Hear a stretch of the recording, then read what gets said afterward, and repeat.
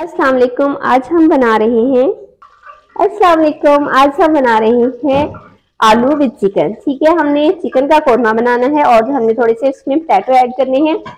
तो सबसे पहले मैंने ऑयल गर्म होने के लिए रख दिया है।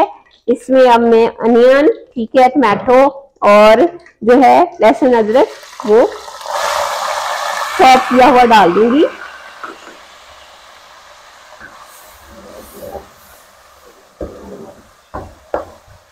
इसमें जस्ट लहसुन है, अदरक हमने कूट लिया था, वो हम डालेंगे अलग से। तो हमारा अनियन टमाटो और जो है, वो लहसुन, वो फ्राई हो चुका है। अब मैंने ये पेस्ट बनाया है, इसमें कुछ धनिया है, हरी मिर्च है, ठीक है। और साथ में अदरक है हमारा। ये ऐड कर देंगे और इसको अच्छी तरह से फ्राई कर लेंगे। तो यहाँ भी ये फ्राई हो चुका है। अब मैं इसमें ऐड करूँगी हल्दी का पाउडर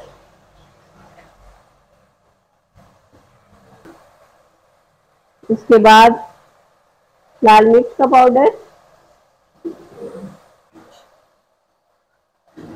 और हसबे जायका नमक ऐड कर दें और इसको अच्छी तरह से फ्राई कर लेना है।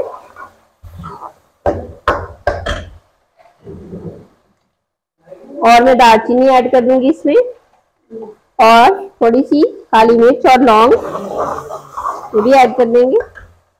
और इसको थोड़ा सा पानी डाल के हम फ्राई करते जाएँगे।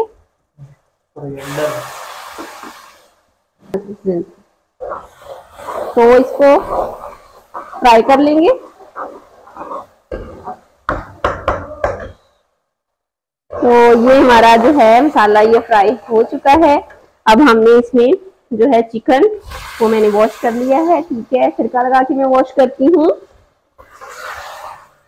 फिर इसको अच्छी तरह से हमने फ्राई कर लेना है। मैं इसमें योगर्ट भी ऐड करूँगी।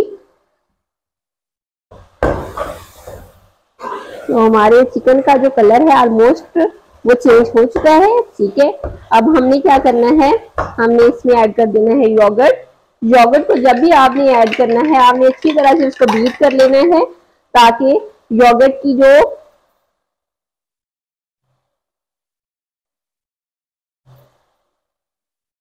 कुटकियाँ बनी हुई होती हैं, वो शोरबे में जब आप बनाएँगे तो वो उसमें भी खत्म नहीं होंगी, वो नज़र आती रहेंगी, ठीक है?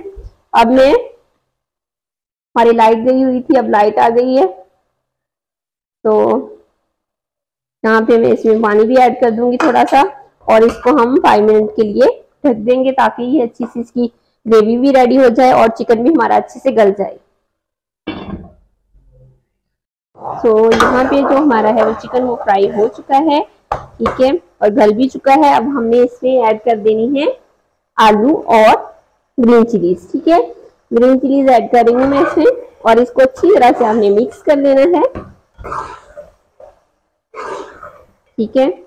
और इसको आपने कुक करना है थोड़ी देर, ताकि आलू जो है उसमें भी मसाला जो है वो अच्छी तरह से रस बस जाए, ठीक है? तो इसको बंद करते हैं पाँच मिनट के लिए। तो यहाँ पे हमारा चिकन और आलू जो है वो अच्छी तरह से फ्राई हो चुके हैं। हमने इनको भून लिया है योगर्ट डाल के, ठीक है? तो ये फ्राई हो चुके हैं। तो अब हम इसमें कौरमा बनाने के लिए इसमें हम पानी ऐड कर देंगे। आप गर्म पानी भी ऐड कर सकते हैं, हम ठंडा पानी भी ऐड कर सकते हैं। मैं नीम गर्म पानी ऐड करूँगी ताकि जो है वो पानी जो है जल्दी बॉयल हो जाए और थक जाए। ठीक है, मैंने नीम गर्म सा कर लिया है बॉयल्ड है। था तो मैंने उसको थोड़ा सा गर्म और कर लिए। तो हम अब ऐड करते हैं पानी।